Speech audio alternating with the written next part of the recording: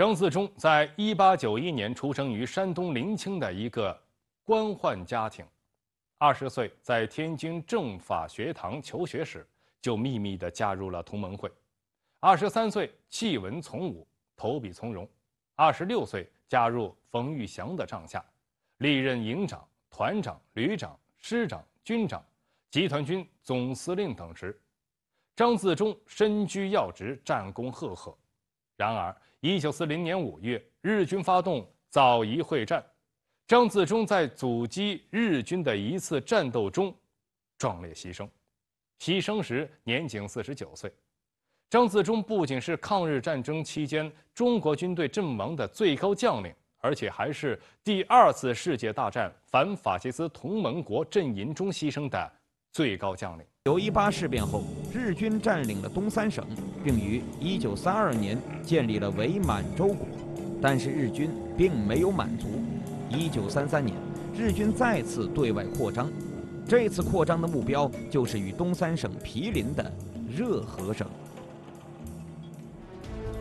呃，因为这个热河，日本人就只有一百二十八名士兵进入热河，但是没有发一枪一弹，就把热河占领了。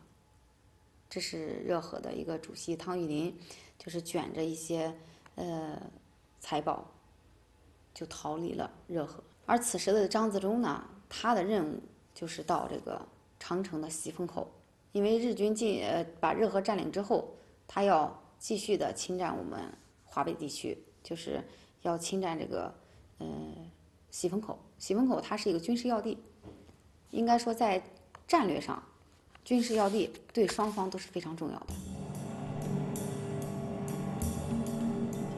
喜峰口位于河北省迁西县北部燕山山脉的中段，是万里长城的一个重要关隘，也是塞北通往京都的交通要冲。一九三三年三月九日上午，日军先头部队攻占喜峰口东北制高点孟子岭，以火力控制了喜峰口，形势对二十九军极为不利。所以，在这个喜峰口。两天两夜拿不下之际，而且，呃，是损失非常大了。张自忠也是不忍心看着自己的弟兄去送死，然后就让当地的樵夫还有猎手就带路，晚上的时候就是分三路把这个喜峰口都包围了。在包围喜峰口的时候呢，这个日军还在睡梦中，因为他们当时，呃，三月份还是非常冷的，他们一般的日军都是脱衣服。然后把衣服盖到身上来睡觉的，但是经过这一仗之后呢，日军大部分喜峰口的士兵都被我们中国军队把脖子给砍掉了，但是日本人呢，他们都是信奉轮回的，非常害怕。二十九军在喜峰口一带固如金汤的防御，使日军志气馁败，便将主攻方向转向到了罗文峪方面，而二十九军乘胜追击。将转移到罗文峪一带的日军再次击垮，最终日军狼狈撤退。长城抗战中的一次次胜利，激发了全国的抗日热情。一九三七年七月七日深夜，在卢沟桥外回龙庙一带演习的日军，突然以听到非法射击和一名士兵失踪为由，要求进入宛平城内搜查，遭到守军拒绝。八日清晨。日军悍然向卢沟桥和宛平城发动攻击，守军奋力抵抗，这就是震惊中外的七七卢沟桥事变。一时间，全国上下同仇敌忾，群情激愤。三十年代中期，日本为确保满洲国的军事安全，防止蒋介石突然收复东四省，便要求在华北建立非军事缓冲区。日军北撤，国民革命军南撤，所有驻防退出华北。经过艰苦的谈判，双方协议，华北只留住一支军队，这就是宋哲元中将驻守京津的第二十九军，其中第三十八师师长便是张自忠少将。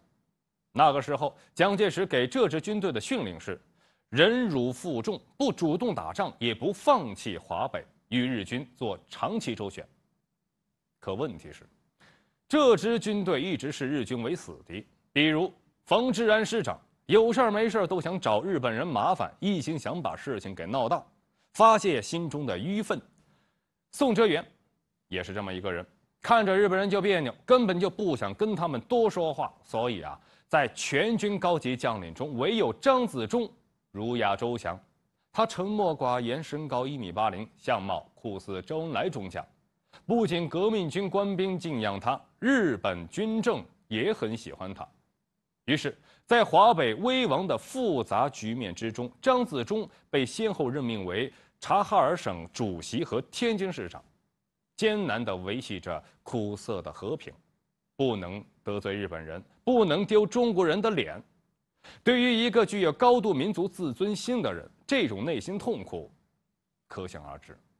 七七事变爆发之呃之后呢，张自忠的这个部队在天津，三十七师打响了，这是中国抗战的第一枪，而张自忠的部队没有到北平来增援。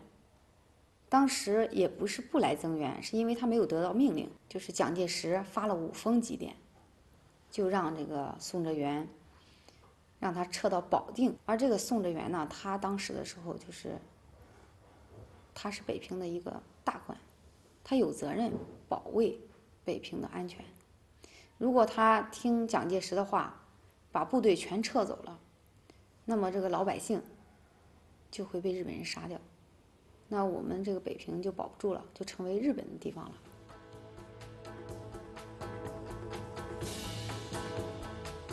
此时，宋哲元同张自忠一样认为，目前日本还不至于对中国发动全面战争，只要我们表示一些让步，局部解决仍有可能。于是，宋哲元致力于通过交涉解决事变，并与日方签订了停战协定，令张自忠留守北平，缓冲中日关系。卢沟桥事变发生后，南京国民政府以应战不求战为应付事变的基本方针，于是。留守北平的张自忠依照宋哲元的判断，力求就地解决事变。然而，这种态度却使舆论界对他的误解进一步加深了。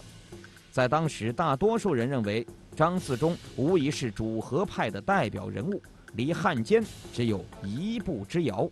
在卢沟桥事变之后，短短二十天的时间里，北平的局势陷入了危机之中。一九三七年七月二十九日，北平沦入敌手，留守北平的张自忠也成为众矢之的。报纸上一律称他“张逆自忠”，甚至称他是华北特号汉奸。对于这一历史，张自忠将军的老上级冯玉祥心中有数。他在痛悼张自忠将军的文章中特地说明，在北平苦城之地。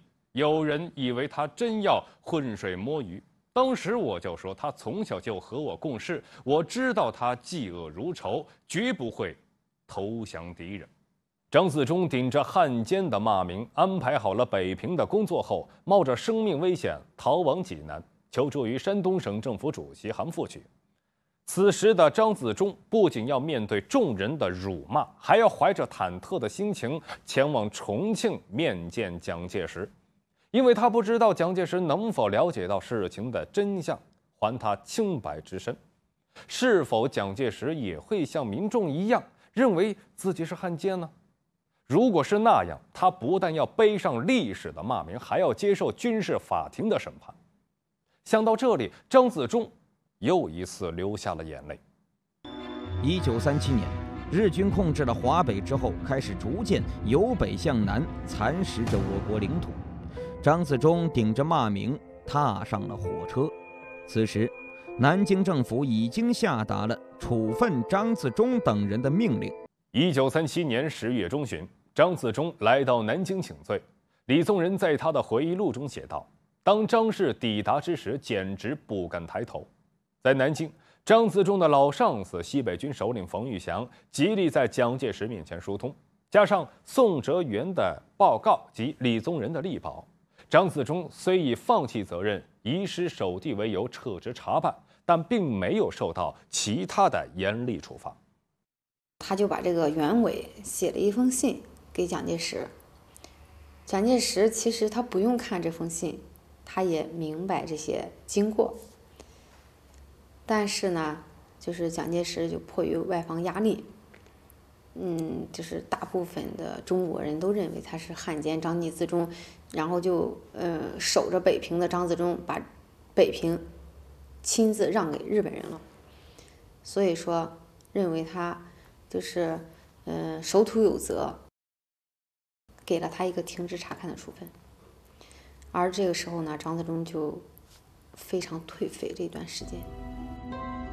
张自忠受到处分后不久，日军就已经侵占了我国大部分的土地，整个南京国民政府也迁往了重庆大后方，整个抗日的形势已经到了举步维艰的程度。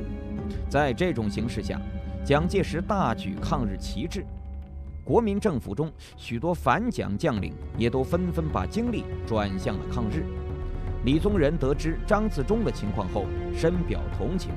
并多次替张自忠求情，希望他戴罪立功，早日投入到抗日的战场上。冯玉祥也多次写信给蒋介石，替张自忠请愿，可蒋介石却无动于衷。这不仅急坏了张自忠本人，也急坏了他之前手下士兵。他们个个都盼望着张自忠能够早日回来，带领他们继续抗日。这个时候，他的军队二十九军在北平打了之后，已经迅速的整编为五十九军了。这个五十九军呢，大部分都是张自忠的兵，然后就在地方闹独立。当时在河南闹独立，就是谁都调不动我们，除了张自忠亲自来调动，要不然那意思我们就要造反了。这个时候，蒋介石是顶不住压力了。然后就把张自忠放回了部队，让他来代理五十九军的军长，